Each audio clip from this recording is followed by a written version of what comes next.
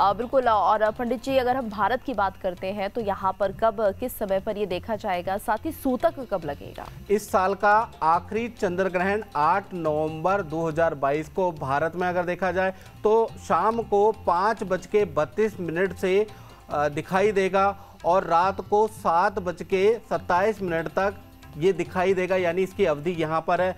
और इस चंद्र ग्रहण का जो सूतक काल है वो सुबह आठ बज के सत्ताईस मिनट पर शुरू हो जाएगा। और ग्रहण के साथ में जो टोटल अवधि देखा जाए, जो समाप्त होगा, सूतक और ग्रहण, वो सात बज के सत्ताईस मिनट पर समाप्त हो जाएगा। और इस साल ये आखिरी चंद्र ग्रहण है ये मैं बता दूँ, और ये भारत के 200 नगरों में लगने जा रहा है। और ये चंद्र ग्रहण मेष राशि को प्रभावित, सबसे ज़्यादा प्रभाव डालने वाला है।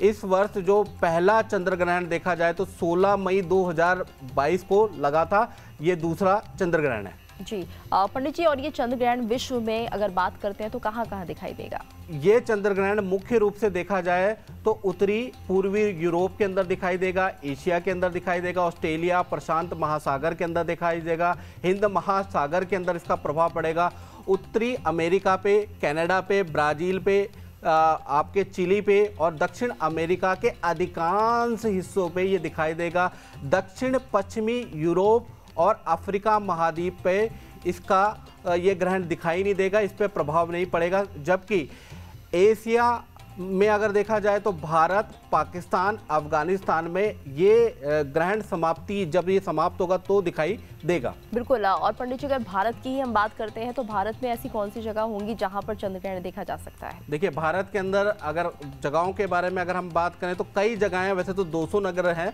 लेकिन उसमें से मुख्यतः अगर देख बात की जाए तो मुंबई के अंदर शाम को छः बज के एक मिनट पर दिखाई देगा। दिल्ली एनसीआर के अंदर देखा जाए तो शाम को पाँच बज के सत्ताईस मिनट पर दिखाई देगा।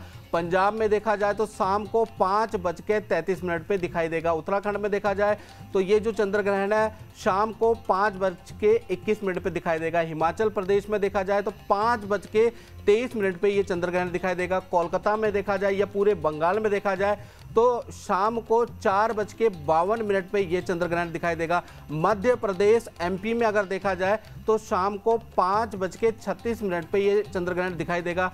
राजस्थान में देखा जाए तो पाँच बज के सैंतीस मिनट पे ये चंद्र ग्रहण दिखाई देगा। केरला में देखा जाए या साउथ के क्षेत्रों में देखा जाए तो शाम को पाँच बज के अट्ठावन मिनट से में चंद्र ग्रहण दिखाई देगा। गुजरात में देखा जाए तो शाम को पाँच बज के बत्तीस मिनट पे चंद्र ग्रहण दिखाई देगा। आसाम में देखा जाए तो शाम को चार बज के सत्रह मिनट, यानी जल्दी ही वहाँ आसाम में चंद्र ग्रहण दिखाई देगा।